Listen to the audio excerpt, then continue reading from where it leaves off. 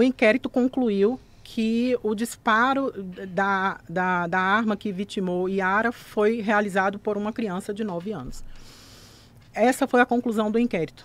A família não se conforma e traz e apresenta, o que também já apresentamos ao Ministério Público, elementos que sustentam o que a família da vítima acredita. Por exemplo, é, nós tivemos agora a, a, um parecer técnico de um perito forense de São Paulo, que esteve lá no, no, em Guaratinga, esteve no local do crime, é, acessou o inquérito policial, as provas ali reunidas e é, concluiu que uma arma daquele calibre e da forma como Yara foi vitimada não pode ter sido disparado por uma criança de 9 anos.